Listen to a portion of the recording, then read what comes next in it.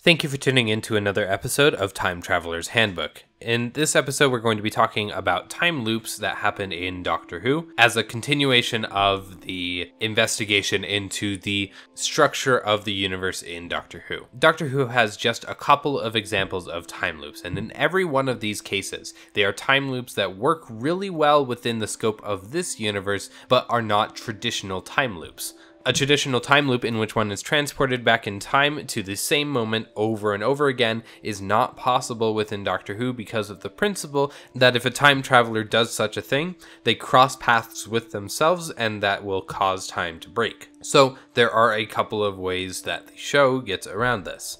First, let's talk about the Big Bang, which has a very brief time loop that you could almost describe as going exactly as what I just said was impossible, but it doesn't. The TARDIS is exploding perpetually in this episode, and within the TARDIS, it has a defense mechanism for anyone trapped inside that it puts them in a time loop in the moments before the explosion occurs, which is also what perpetuates the explosion in the first place. River is trapped in the TARDIS this way, and with no memory of the time loop occurring, she's trapped for a very long time, going through this time loop as this would constitute a deterministic system in that she is starting from the same position and she has the same set of conditions until the moment that the doctor comes and saves her.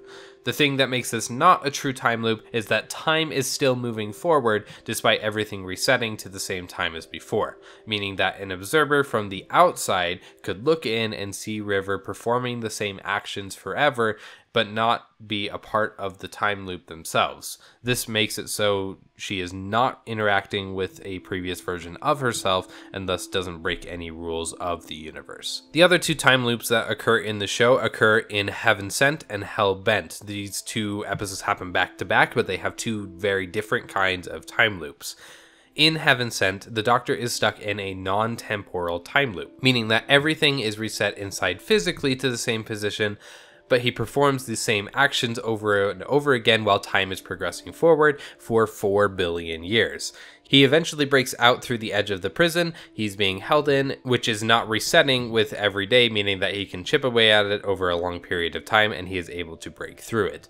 Since there's no time travel here, this all works within the scope of Doctor Who's universe. And then in Hellbent, the time loop is the process that is able to keep Clara alive after being pulled out of her time stream. Her physical processes are stuck in a time loop that lasts for zero seconds, which means that she is constantly resetting her body to the state that it was at the beginning.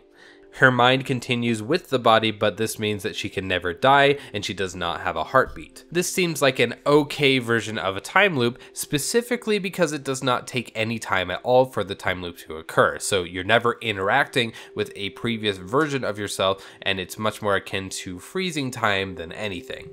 This does seem to be a risk in breaking time if she's out of her proper time string for too long, but this is more of a factor of her death being a key event and not the process that her body is undergoing being a risk to the time stream. While this is technically a time loop, Effectively, it's just frozen time, which means that this can't really be used to justify the existence of time loops within Doctor Who since it's characterized as something completely different. So we can see that time loops in the traditional sense are not possible within the Doctor Who universe.